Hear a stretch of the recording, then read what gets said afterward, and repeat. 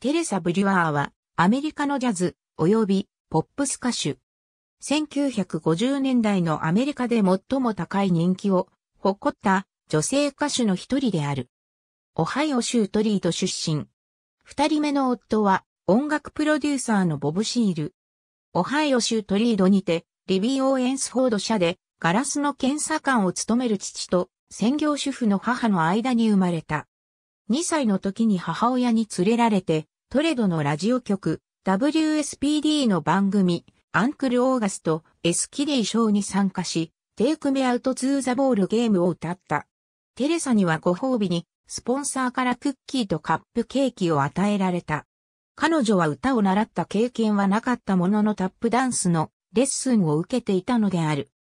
5歳の時にあるコンペティションを勝ち抜いて、当時の人気ラジオ番組、 Major Bowes Amateur Hour と共にツアーし、歌とダンスを披露するようになった。12歳の時にテレサはトリードに連れ戻され通常の学生生活を送ったが、それでも地元のラジオ局への出演は続けていた。1948年1月、16歳の時に地元で開催されたコンペティションで優勝し、他の3人の勝者と共にニューヨークを訪れて、 Stairway to the Stars に出演した。テレサはいくつものタレントショーで栄冠を勝ち取り、ニューヨークのナイトクラブに出演した。この頃までに彼女は名前の表記をテレサ・ブロイヤーからテレサ・ブルーワーに改めていた。後年、地元トレドのメディアに語ったところによると、クラブの玄関の明かりでも読みやすいようにとのことだったという。またこの頃に彼女は最初の結婚をしている。ある時、リッチー・リセラというエージェントが、テレサの歌を聴き、マネージメントを手掛けることを申し出た。テレサは、彼の計らいにより、ロンドンレコードと契約し、1949年に、ディキシーランドジャズの奏者たちとの共演で、コッペンハーゲンというレコードを録音した。このレコードの B 面に収録されたのが、スティーブン・ワイスとバーニー・バウム作のミュージック、ミュージック、ミュージックだった。思惑とは異なりこの B 面収録曲の方が人気を博し、レコードはミリオンセラーとなりテレサはミスミュージックの愛称で親しまれるようになった。翌1950年にはさらに、中 N ゴムがトップ20位に入るヒットを記録し、 Molasses, Molasses がこれに続いた。テレサ自身はむしろバラードを歌うのを好んでいたが、そうした曲の中でヒットチャートに食い込んだのは1951年の Longing for You ただ一曲だった。1951年にテレサはコーラルレコードに移籍した。彼女は楽譜の読み方を習ったことがなかったために曲のメロディーをデモテープを聞いて覚えていた。しかしそんな状態でも彼女はコーラルレコードに数多くのヒット曲をもたらした。1952年にはゴナゲットアロングウィズアウトユーナウやドン・コーネルとのデュエット曲ユールネバーゲットアウェイを発表した。1953年に発表した Till I Waltz Again with You は彼女にとって最大のヒットとなった。この年には他にも Dancin' with Someone や Into Each Life Some Rain Must Fall、 Ricochet をヒットさせた。その後もさらに、 Baby, Baby, Baby や Bell Bottom Blues、 Our Heartbreaking Waltz、 Skinny Minnie などのヒット曲が続いた。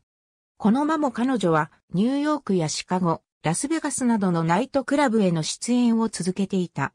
1956年に彼女は自身も作詞、作曲に参加した I Love Mickey を発表した。この曲はニューヨークヤンキースの中堅手、ミッキー・マントルについて歌ったもので、レコードにはマントル自身も出演し花を添えた。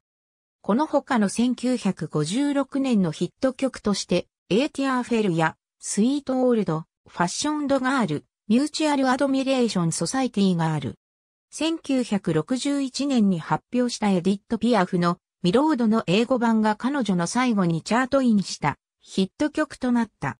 テレサは1962年にフィリップスレコードに移籍してゴールドカントリーなどのレコードを発表した。その後、いくつかの他のレコード会社でも録音を行ったが、いずれも大きなヒットには至らなかった。結婚後に4人の娘を授かっていたテレサは1960年代になると家庭生活を優先するため歌手活動の一線からは離れていた。彼女は私の最大のヒットは娘たちと語ったことがあると言う。1972年に彼女は最初の夫と離婚し、音楽プロデューサーのボブ・シールと結婚した。1970年代にはシールの所有するフライングダッチマンレコードからアルバムを発表した。1977年にはマペットショーにゲスト出演した。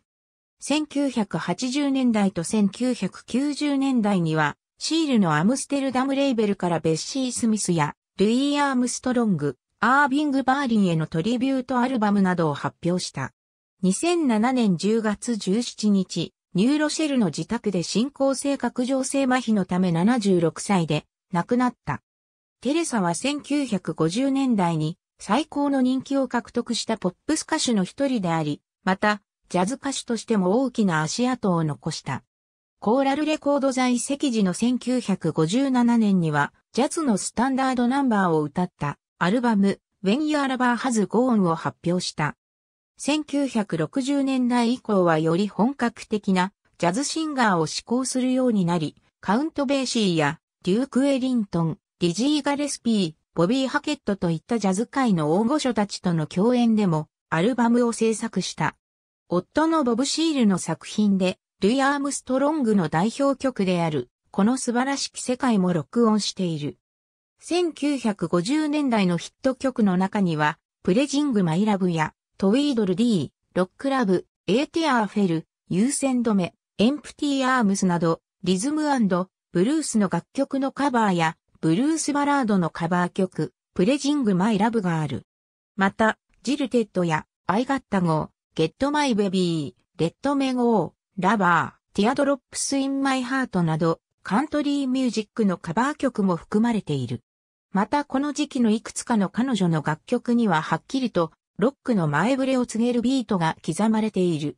特に Ricochet や Jilted、A Sweet Old Fashioned Girl などがこれに該当する。1951年発表の Longing for You はオスカー・シュトラウス作曲のワルツの夢を翻案したものだった。また1963年には前年にナンシー・シナトラがポンキエッリの時の踊りに歌詞をつけて歌ったライク、I Do をシールネバーラブユーライク、I Do としてカバーしている。テレサが録音した楽曲は合計で600曲近くにも上る。彼女の功績を称えて、ハリウッド・ウォーク・オブ・フェームのバインドール2708番目として星が贈られている。2007年にはヒットパレード・ホール・オブ・フェームに検証された。テレサ・ブリューワー、テレサ・ブルーワー、テレサ・ブルーワーの表記もある。ABCDE テレサ・ブルーワー、76, 1950s Pop Singer Who Transitioned to Jazz。ロサンゼルスタイムズ1956年のペーシャンスプルーデンスによるバージョンの方がよく知られている。他に1964年のスキータ・デイビスやトレーシー・デによるバージョンもヒットした。